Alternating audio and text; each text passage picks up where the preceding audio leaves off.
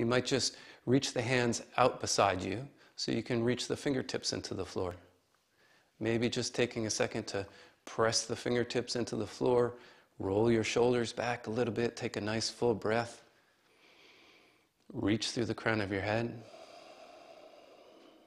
And then when you're ready on your next inhale, just sweep the arms up overhead.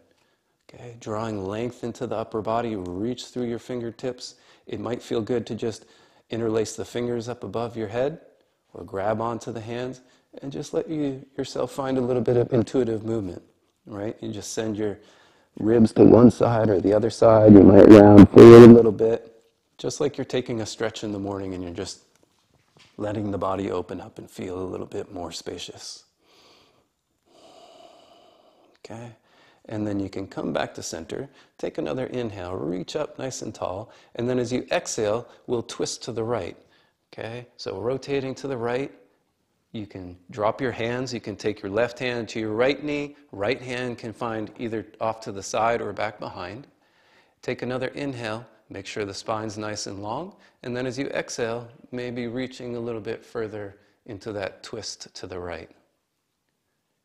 Okay? As always, with any physical uh, movement that we take here, start small, see how it feels. If everything's feeling okay, then maybe you add a little bit more effort in. But being continually aware, that's what we're practicing, is just this continual uh, awareness continual attention to the body. See how it feels. Make any adjustments you need to.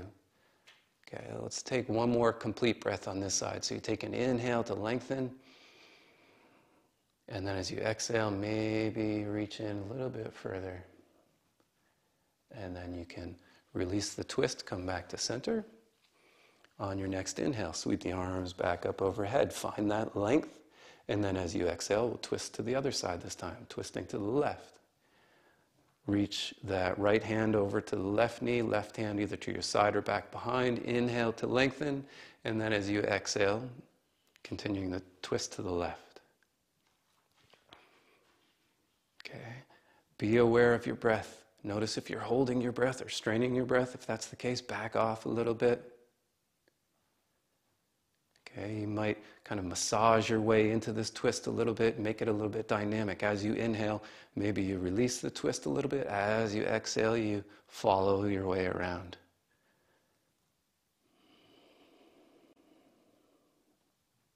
Okay, one more breath on this side.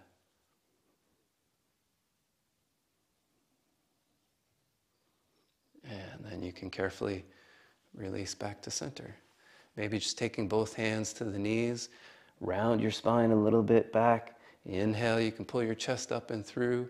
Just take a few breaths like that, okay, just to release the spine and come back to center.